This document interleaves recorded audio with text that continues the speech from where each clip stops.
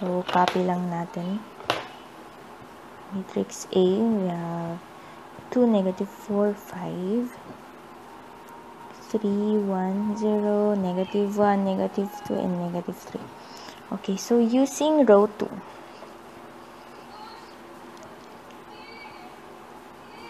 okay, so finding the determinant of A,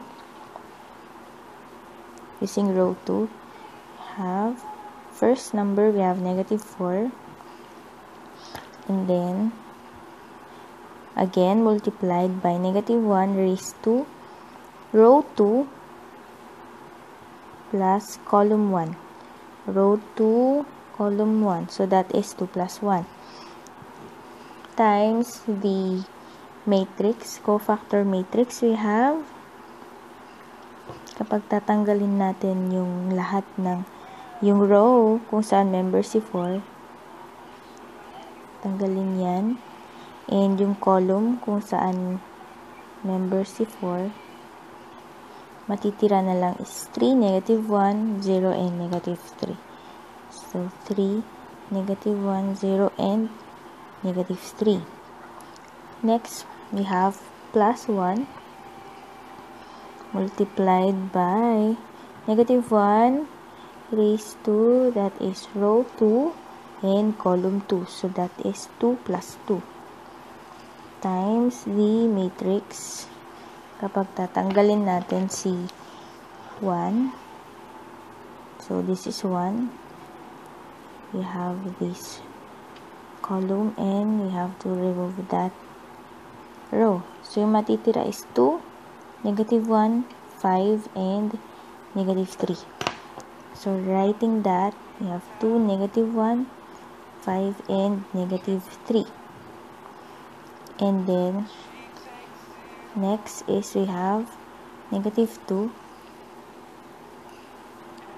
multiplied by negative 1 raised to that is row 2 column 3 so 2 plus 3 times our matrix will be ayan tatanggalin natin to and this one. So yung matitira will be 2, 3 5 and 0 um 2 3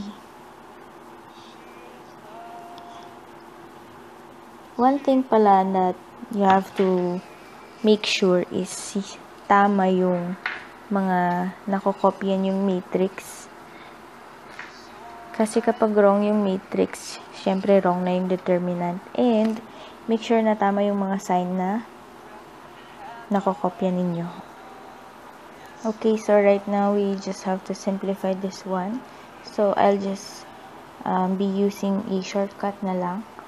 So this is negative 9 that is negative 9 minus this will become 0 so what remains is negative 9 in this part we have that is negative 6 minus negative 5 that will become negative 6 plus 5 that will be negative 1 so and in this part we have that is 0 this is negative 15 kasi 0 minus 15 so this one we have um, raised to 3 that is negative 1 raised to 4 that is positive 1 this is raised to 5 so that is negative 1 so negative 4 times negative 1 that is positive 4 times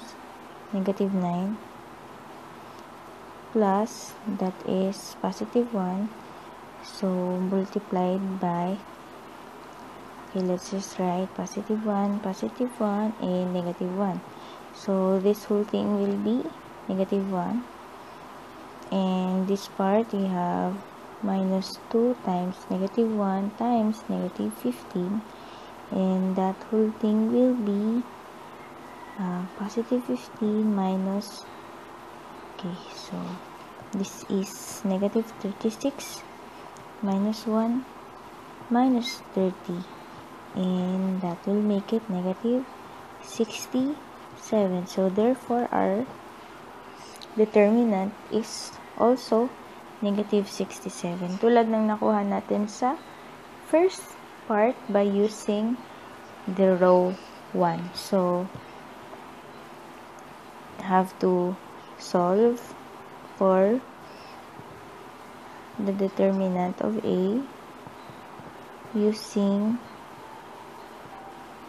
row 3 as your basis. Okay, so you have to practice for that, okay? Okay, so in order for us to get the inverse of a matrix, kailangan nating maintindihan yung pagkuha ng determinant. So, example, we have a 4 by 4 matrix and it will be just AC.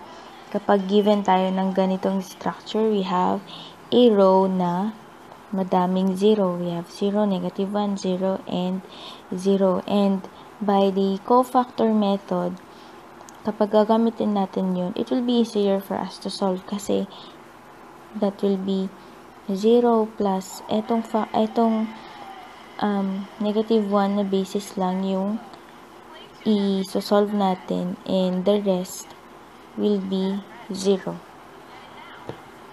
Okay. So, that is kung madami, may row ka na madaming 0. So, given that, of course, yan na yung isa-select nating row. So, we have to solve for the determinant of A using that. So, we just, we just have to copy for negative 1 in that multiplied by our negative 1 times anong row yan, you have the third row plus the second column. So, that is 3 plus 2 multiplied by the matrix left by removing negative 1. So, ito yung basis natin. So, tatanggalin natin to and tatanggalin natin tong row na yan. So, yung matitira na lang, we have 1, 4, 1, you have 7, 8, 16, 10, 10, and 16. Okay, so, kaya na natin i-solve yan. So, simplify muna natin to. 3 plus 2, that is 5. So, negative 1 raised to 5 is negative 1 multiplied by negative 1. So, that will be positive 1. Okay.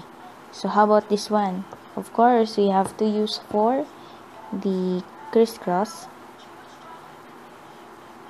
Okay, so we have to add for 1, 4, 1, 7, 8, and 16. Okay, so negative, that is 1 multiplied by, so we have 1, 8, 16, plus 7, 10, 1 plus 10, 4, 16, okay now, minus, sige dito na lang, minus 1, 8, 10,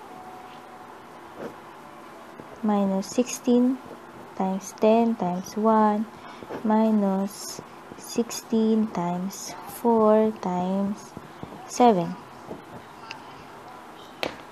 Okay. So, saan galing to? Na-learn na natin yan kanina. Okay, so, we have just to simplify that. Okay, 1, 8, 16, that is 128. You just have to check in your calculator kung tama, okay. This is 70 this is 640 this is negative 80 this is negative 160 I mean included na yung signs dun. And this is negative 448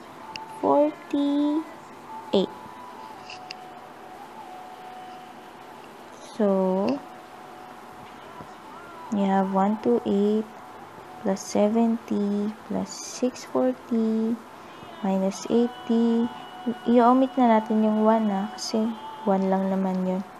160 tapos minus 448. So, we already have the determinant equal to 150. So, you can double check the answer kung tama. And 150 will be our final answer. So, madali lang yung using cofactor kapag meron kang row na filled with zeros. Ayan. Okay lang naman kahit isang zero lang. Basta you select the row with the most number of zero para mas madali. Okay, so please take note of this one because it will be useful in our next topic.